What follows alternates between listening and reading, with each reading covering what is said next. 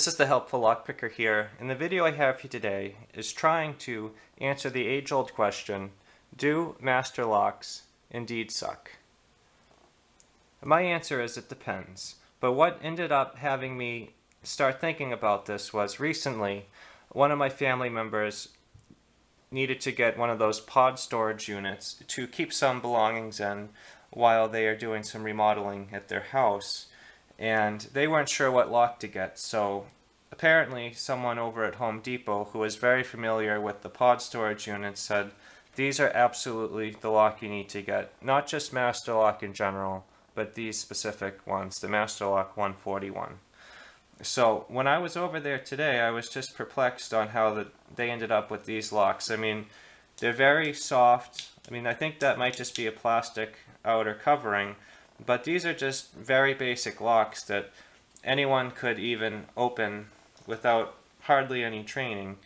But I don't usually like to jump on the Master Lock Sucks bandwagon because I feel like Master Lock has some good qualities to it.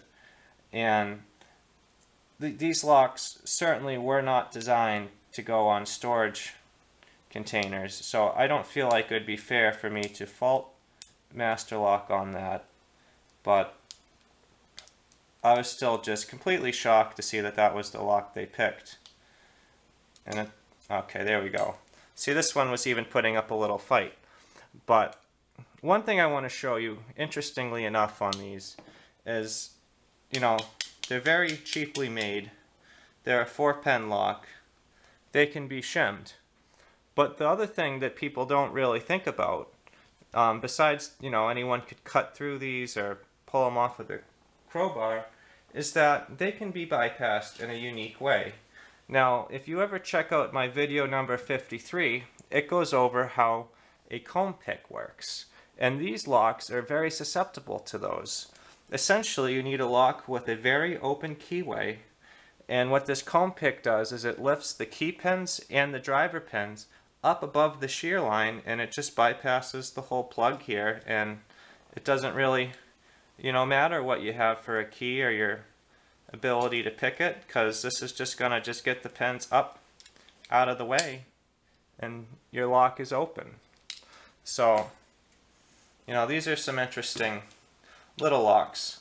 But going back to the main topic of does master lock suck my opinion is is that you always need to know what you're trying to secure and what makes sense. I think Master Lock has some really great features. I'll show you this Master Lock um, M930, which I bought. Now this is a serious lock. This lock has a really strong shackle. It has ball bearings in it. And, you know, anyone that wants to cut through this lock is going to have a heck of a time. And one thing I did do to this lock on top of that is, is I added a Master Lock 410 lockout tagout core. So I updated it to a 6-pin lock with all security pins, and I even added some American serrated key pins. So this is a really good Master Lock, which I have upgraded. But even if you pretend that I didn't upgrade it, this is a great lock.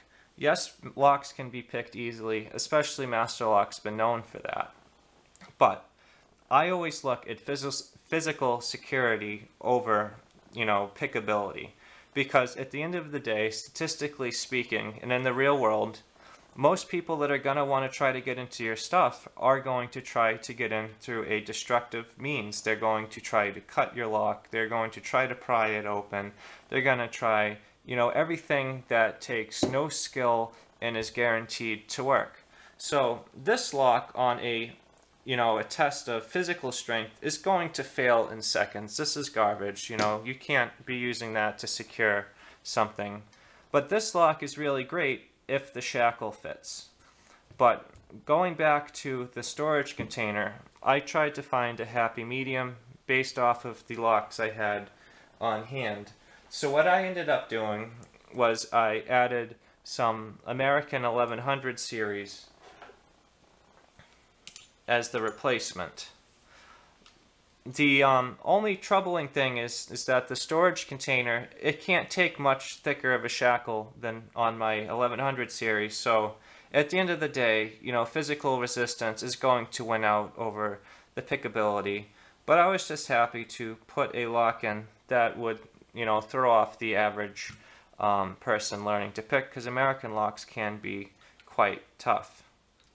But at the end of the day, I always see so many videos out there and so many comments on the internet that master lock is garbage. I challenge someone to take one of their master locks, leave it outside for a year, and try to secure it, and then try to pick it. Maybe you'll have to pick it upside down in the rain, in the snow, in the heat, maybe even on a pile of water, you know, like a puddle.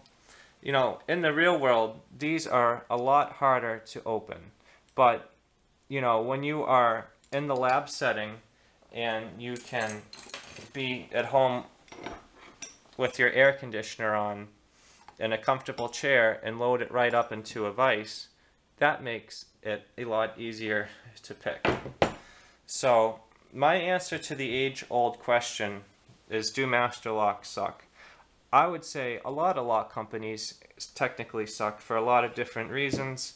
This American lock's not going to put up any fight against a destructive entry, but it will keep someone out from trying to rake it or bump it. This lock is, you know, not really great for anything other than maybe a school locker. But this master lock here is excellent, you know, for something that you want to secure that can fit this shackle. This is going to give someone one heck of a time to get through. I always value physical security over pickability on things that, you know, are not stuff that would require a high security lock. Security is only strong as its weakest link, and always keep that in mind. Thank you so much for checking this out. If you guys have any questions or suggestions, please leave them in the comments below. If you enjoyed this video and you'd like to see more like it, please subscribe. As always, thank you so much and have a great day.